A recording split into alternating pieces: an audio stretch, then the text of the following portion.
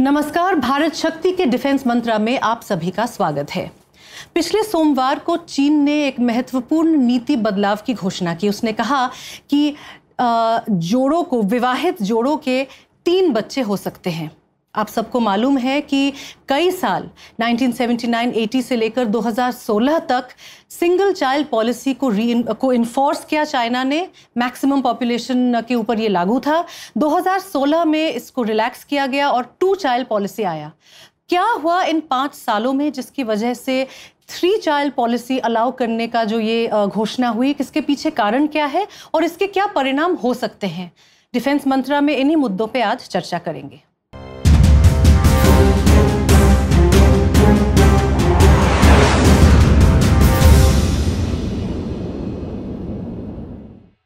हमारे साथ भारत शक्ति के संस्थापक और प्रधान संपादक नितिन गोखले हैं। नितिन डिफेंस मंत्रा में आपका स्वागत है। धन्यवाद। तो आज एक सोशियोलॉजिकल डिस्कशन होगी चाइना की डेमोग्राफी पे। तो चाइना, सबसे इंटरेस्टिंग बात यह है, शायद कि चाइना दुनिया के सबसे ज़्यादा आबादी वाले देश है, लेकिन चाइना का जो पॉपुलेशन है, वो श्रिंक हो रहा है, घट रहा है। तो शुरू से शुरू करते हैं 1949 जब पीआरसी जब China as we know it today स्थापित हुआ, तब चाइना की जनसंख्या थी चौवन करोड़। उसके बाद क्या हुआ, और वन चाइल्ड पॉलिसी कैसे आया, वहाँ से शुरू करते हैं। आपने डेमोग्राफी की बात की और उसका सोशियोलॉजिकल इम्पैक्ट के बारे में हम चर्चा करेंगे। पर। सोशियोलॉजी के साथ साथ इसमें एक स्ट्रेटेजिक मुद्दा भी आता है जनसंख्या को लेकर आबादी को लेकर। इसीलिए हम इसकी चर्चा डिफेंस मंत्रा में कर रहे हैं। लोग शायद शायद सोचेंगे कि डिफेंस मंत्रा में ये क्यों बात कर रहे हैं? बिल्कुल। क्योंकि चीन का जो प्रोग्रेस हुआ 1978 से लेकर जब उन्होंने लिबरलाइजेशन शुरू किया और उसके साथ साथ वन चाइल्ड पॉलिसी उन्होंने 1979 में लाई। इसलिए लाई कि 1949 से लेकर 1976 तक उनकी आबादी में आपने जैसे कहा चौवन करोड़ से चौरानवे करोड़ तक की वृद्धि हुई। इतना इतनी आबादी बढ़ गई कि उनके पास फिर खाद्यान्नों की बाकी रहने रहन सहन की सब चीज़ों की कमी होने लग गई। Okay. और वो तब चीन एक बहुत गरीब देश था और उसके लिए वो कठिनाई बढ़ती गई। इसलिए उन्होंने वन चाइल्ड पॉलिसी की घोषणा की और कहा कि मेजॉरिटी पॉपुलेशन जो वहाँ पे है हान चाइनीज़ लोगों का टिबेटन्स को यूगुर्स को उन्होंने कहा कि आपको इसमें एग्जेम्पशन है। आप जितने चाहे बच्चे पैदा कर सकते हैं क्योंकि वो रहते हैं वेस्टर्न चाइना में तिब्बत में और शिनचियांग में वहाँ उतनी आबादी नहीं है बहुत ज़मीन बहुत ज़्यादा है। और हान चाइनीज़ सब रहते हैं ईस्ट कोस्ट पे जी। पूरे शंघाई से लेकर ऊपर तक। और वहाँ पे जगह की कमी है और आबादी ज़्यादा है तो इसलिए उन्होंने वन चाइल्ड पॉलिसी की घोषणा की और इन्फोर्स किया बहुत स्ट्रिक्टली इन्फोर्स किया। उसके लिए पेनल्टी होती थी जेल होता था वो सब होता था। तो वो वन चाइल्ड पॉलिसी का एक एडवांटेज उनको ऐसा मिला कि यंग पॉपुलेशन 1980 के बाद या पचासी के बाद 2000 तक उनकी यंग पॉपुलेशन बहुत बढ़ गई। एक ही बच्चा होता था और वो पूरे लेबर फोर्स उनका जो था वो पूरा यंग रहा। और इसलिए चीप लेबर फोर्स रहने के कारण चीन ने अपनी इकोनॉमी को बहुत जल्दी बहुत बड़ी इकोनॉमी बना दी। और अब नंबर दो इकोनॉमी है पूरे दुनिया में। तो उसका फ़ायदा उनको तब हुआ।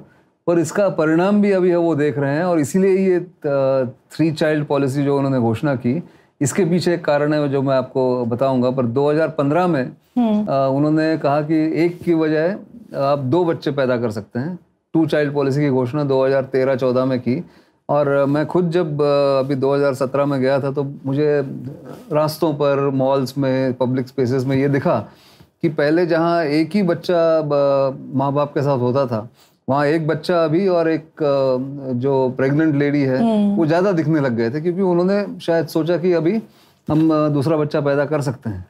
पर पिछले पाँच सालों में आबादी बढ़ने के बजाय घट गई जहाँ एक सौ या डेढ़ करोड़ बच्चे मेरे ख्याल से पाँच साल में पैदा हुए 2016 से लेकर 2020 में चार साल में। यहाँ पहले 2016 में हर साल वन सेवनटीन मिलियन बच्चे पैदा होते थे। Okay. और अ, 2016 में सेवनटीन मिलियन थे। अब जाके वो 12 मिलियन हो गए तो पाँच मिलियन घट गए। पाँच मिलियन मतलब आपको 50 लाख बच्चे कम हो गए। जी। पैदाइश कम हो गई। जी। तो ये उनको एक वार्निंग सिग्नल मिल गया और उस तब जाके इन्होंने ये पॉलिसी को बदलाव लाया तीन बच्चों के लिए। हम्म हम्म हम्म। तो इतने साल से जो ये वन चाइल्ड पॉलिसी चल रहा था इसकी वजह से कई और चीज़ें जैसे महिलाओं का जो फर्टिलिटी रेट है वो भी कम हुआ है। जो डेवलप्ड कंट्रीज़ है वहाँ पे 1.7 है लेकिन चाइना में 1.3 है। और तो ये सा, सारी कारणों की वजह से जेंडर इम्बैलेंस भी हो गया। जैसे एक हज़ार मेल के सामने महिलाओं की संख्या बहुत कम हो गई। तो फिर वो क्योंकि वो मेल चाइल्ड प्रेफर करते मेल चाइल्ड प्रेफर करते थे और मेल चाइल्ड ज़्यादा होते भी हैं वैसे एवरेज ऑन एन एवरेज इसीलिए। तो वो होने के कारण फिर शादियाँ कम होने लग गई। शादियाँ कम होने लग गई तो बच्चे कम पैदा होने लग गए। इसलिए पॉपुलेशन उनका घटते गया। और अभी पिछले पाँच सालों में बढ़ने की बजाय दो टू चाइल्ड पॉलिसी करने के बाद वो पॉपुलेशन घट गई। जब 2021 में उनका सेंसस का रिपोर्ट आया तब भी उनको एक वार्निंग साइन मिल गई कि ये तो अ, मुश्किल है आगे जाके क्योंकि एजिंग पॉपुलेशन भी बढ़ रही थी। करेक्ट तो बेसिकली जो आपने कहा कि यंग लोग जो 80s और 90s में तो इसकी वजह से चाइना एक निर्यात केंद्रित अर्थव्यवस्था बन पाई। बिल्कुल। और इसकी वजह से ये भी हुआ कि लोग शादी करना ही नहीं चाहते थे। लोग अपने करियर पे और और चाइना में ध्यान। दे रहे थे। और ये भी है कि चाइना में लोग वर्किंग आवर्स उनका बहुत लंबा है। एक वो है दूसरा वहाँ पे जैसे बहुत लोगों का माइग्रेशन ग्रामीण इलाकों से शहरों में हुआ। okay. अब शहरों में रहन रहने की व्यवस्था कम थी घर कम थे और बहुत एक्सपेंसिव थे। घर खरीदना तो मुश्किल ही था घर रेंट पे लेना भी मुश्किल था।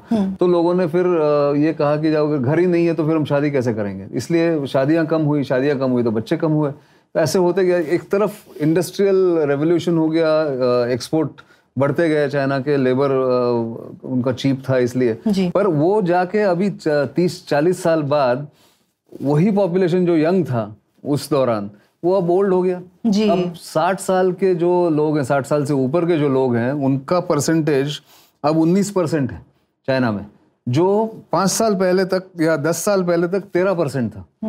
तो इसके साथ साथ यंग पॉपुलेशन घट गई और बूढ़ों की संख्या ज़्यादा हो गई। तो बेसिकली इन्वर्टेड पिरामिड हो रहा है जहाँ पे यंग लोग नीचे बेस फॉर्म करते हैं ज़्यादा होते हैं वो उल्टा हो रहा उल्टा हो है रहा है। हम्म, एजेड पीपल ज़्यादा हो रहे हैं।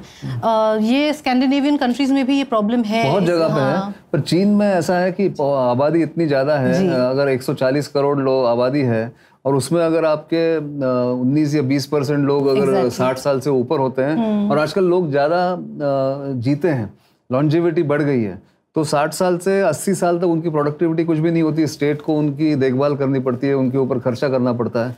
इसके कारण अभी उनकी जो उनका जो बजट है उसमें भी एक प्रेशर आ सकता है चीन के ऊपर। इसीलिए उन्होंने कहा कि अभी थ्री चाइल्ड पॉलिसी करें तो यंग पॉपुलेशन फिर आने वाले 20 सालों में फिर यंग पॉपुलेशन बढ़ेगा ऐसा उनकी ऐसी उम्मीद है। हाँ आपने आने वाले 20 साल ये बहुत इंटरेस्टिंग है क्योंकि आज अगर 2021 में कोई बच्चा पैदा होता है 22 में उसको प्रोडक्टिव होने में तो 18-20 साल लगेंगे ना? बिल्कुल। तो बीच में ये लोग करेंगे क्या? तो इसीलिए ये अभी चीन का सबसे बड़ी समस्या उनकी यही है और इसी के कारण उनके स्ट्रेटेजिक पॉलिसीज़ फॉरेन पॉलिसी और इकोनॉमिक्स पे सब पे इसका असर पड़ेगा और पड़ रहा है। अभी उसकी इंडस्ट्रियल एक्टिविटी कम हो रही है इकोनॉमी स्लो डाउन हो गई है जहाँ टेन परसेंट ग्रोथ होता था इकोनॉमी में वहाँ जाके अभी ये छः परसेंट पे एवरेज पिछले कुछ कई सालों से हो रहा है। तो इतनी बड़ी पॉपुलेशन को इतनी बड़ी आबादी को आपको मेंटेन करना या उनको उसी स्टैंडर्ड पे रहना प्रोस्पेरिटी के उनकी मतलब जितना पैसा उनके पॉकेट में, पिछले 40 साल में आया, उतना ही रखना, ये चीन के लिए एक बहुत बड़ी चुनौती है। और इसीलिए वो अभी थोड़े से चिंतित हैं कि ये जो संख्या कम हो रही है, वर्किंग पॉपुलेशन की इसको कैसे बढ़ाया जाए आने वाले 20 सालों में कम से कम? जी चिंता की बात जब आपने कही मुझे याद है जब ईस्ट लद्दाख में जो इंकर्शन हुआ था तब भी हमने वन चाइल्ड पॉलिसी की बात की थी और इस पे ऑब्वियसली रिक्रूटमेंट आर्मी के रिक्रूटमेंट पे भी असर उस होगा। पे भी असर पड़ता है और अभी जैसे वन चाइल्ड पॉलिसी के कारण जो एक एक बच्चा एक फैमिली में है अगर वो मिलिट्री ज्वाइन करता है तो और उसकी अगर उसकी वहाँ शहादत होती है वो शहीद होता है तो अ, कितने लोगों पे असर पड़ता है? दो उसके दो माँ बाप हैं मतलब दो लोग हैं उनके उन दोनों के माँ बाप हैं वो चार लोग हैं ऐसे छः लोगों के इफ़ेक्ट होता है। इसलिए बहुत से लोग पीएलए में या मिलिट्री में जाना नहीं चाहते हैं। उसका भी इफ़ेक्ट उनको पता है इसलिए वो कह रहे हैं कि कम से कम दो बच्चे हों तो एक भी अगर शहीद हो गया तो दूसरा कम से कम फैमिली को देखभाल करने के लिए है। ये एक चिंता उन्हें चीन में अभी भी है और ये रहेगी आने वाले बीस सालों में। एक चीज़ थोड़ा क्लियर कर दीजिए अभी जो standard of cost of living जो इतना हाई है लेकिन अगर एक बच्चा है तो उसको अपने दादा दादी नाना नानी माँ और बाप सब की प्रॉपर्टी तो मिल रही है तो मतलब तो प्रॉपर्टी अगर मिलती है तो प्रॉपर्टी मिलने से भी हाँ। पर उसको फिर जगह नहीं होती है घर में रहने के लिए शादी करके किसी को लाने के लिए तो आजकल शंघाई में हम्म। पिछले कई सालों से ऐसा एक मैरिज ब्यूरो वीकली होता है अच्छा? जहाँ पे बूढ़े माँ बाप अपने बच्चों की मैं नुमाइश नहीं कहूँगा पर अपने बच्चों की वहाँ पे कैनवसिंग करते हैं अच्छा। वहाँ पे छातों पर अम्ब्रेलास पे उनका नाम फ़ोटो इनकम हाइट वेट सब लिख के कहते हैं और आप वहाँ जाके फिर वो नुमाइश होती है कि आप देखो अगर आपको शादी करनी है तो। वहाँ पे अरेंज मैरिज का अभी भी महत्व है और वो बच्चों के बिहाफ पे पेरेंट्स करते हैं। तो एक बड़ी इंटरेस्टिंग सोशोलॉजिकल एक वहाँ ट्रेंड है वहाँ पे चाइना में। पर चाइना भी पुराना देश है उसके भी एक कुछ परंपराएँ हैं। तो वो क्लैश है मॉडर्निटी और परंपरा को लेकर। और उसी के कारण सोसाइटी में काफ़ी चर्न है। हमें लगता है चाइना बिल्कुल एक मोनोलिथ है कि एक ही ढांचे में डाले डाले हुए सब लोग हैं ऐसे नहीं है। वहाँ पे भी काफ़ी लोग अपने अपने उनके तौर तरीके उनकी परंपराएँ उनके बिलीफ्स अलग अलग होते हैं। और इसके कारण ये सब हो रहा है कि पहले कहते थे कि दो से ज़्यादा बच्चे पैदा करो। वो प्रोडक्टिव होंगे वो पैसा लाएँगे। फिर वो वन चाइल्ड पॉलिसी एनफोर्स कर दी। अब वो कह रहे हैं दो चाइल्ड कर दी फिर अब तीन थ्री चाइल्ड पॉलिसी हो गई। साल में इतना पाँच साल में इतना बड़ा चेंज आया क्योंकि वो अभी चिंतित है कि आगे आने वाले बीस सालों में वर्किंग पॉपुलेशन कम होगी और बूढ़ों की संख्या या बुज़ुर्गों की संख्या ज़्यादा होगी और उसका बर्डन जो है स्टेट पे पड़ेगा उसका असर इकोनॉमी पे पड़ेगा। और वो जाके चीन के ग्लोबल पोजीशन पे उसका असर पड़ेगा। Right. ये सब चिंताएँ उसमें जड़ित हैं। इसलिए ये मामला बात करना इसके ऊपर चर्चा करना ज़रूरी था। बिल्कुल बिल्कुल ज़रूरी था। और मैं एक लास्ट एक सवाल पूछूँगी छोटा सा जो इंडिया ने किया। हम दो हमारे दो। हम्म। जो कैंपेन था मेरे ख्याल से वो शायद ज़्यादा सोची समझी ज़्यादा इस पर स्टडीज़ की गई आ, कि उसका साइकोलॉजिकल इफ़ेक्ट इकोनॉमिक इफ़ेक्ट क्या पड़ेगा। मेरे ख्याल से हमने आ, ऐसा अच्छा तब कहा गया था। हाँ तब ऐसा कहा जाता है। अभी हाँ. भी कहते हैं कि फैमिली में कम से कम दो बच्चे होने चाहिए क्योंकि वो एक दूसरे की एक दूसरे का ध्यान रखेंगे। जब माँ और बाप नहीं रहेंगे वो जब गुजर जाएँगे तो कम से कम एक दूसरे के लिए वो दो बच्चे होते हैं। बिल्कुल। तो वो उसी का इफ़ेक्ट अभी भी भारत में दिख रहा है। आज भारत में पैंसठ प्रतिशत जनसंख्या जो है वो पैंतीस के उम्र से कम है। यंग है। यंग है और ये अभी आने वाले पच्चीस सालों तक भारत को इसका एडवांटेज मिलेगा। जी। और यही एक फ़ायदा अभी डेमोग्राफिक डिविडेंड जिसको कहते हैं वो इंडिया ने लेना ज़रूरी है इस आने वाले बीस पच्चीस सालों में। बिल्कुल। So thank you very much Nitin हमने सुना कि किस तरह से ये जो थ्री चाइल्ड पॉलिसी अभी चाइना ने लागू किया है uh, या करने जा रहा है इसका uh, कारण क्या है और किस तरह का इम्पैक्ट पड़ेगा? लेकिन बहुत साल लगेंगे इसको पूरी तरह से होने में। चाइना चिंतित है चाइना की जो आबादी है वो घट रही है। आगे हमें देखना होगा कि इसका इकोनॉमिक uh, इंडस्ट्रियल और जो स्ट्रेटिजिक इम्पोर्टेंस है पूरी दुनिया के लिए ये कैसे प्ले आउट होगा आगे। लेकिन thank you very much Nitin आपने हमें टाइम दिया शो पे आप आए. थैंक यू वेरी मच मैं सबसे गुजारिश करूँगी कि हमारे यूट्यूब चैनल पे जाइए क्लिक कीजिए सब्सक्राइब कीजिए बेल आइकन दबाइए हमारे सोशल मीडिया प्लेटफॉर्म्स पे जाइए और फॉलो कीजिए सब्सक्राइब कीजिए और प्लीज़ हमें फीडबैक भेजते रहिए हमें इंतज़ार रहता है। मिलते हैं अगले हफ़्ते. Thank you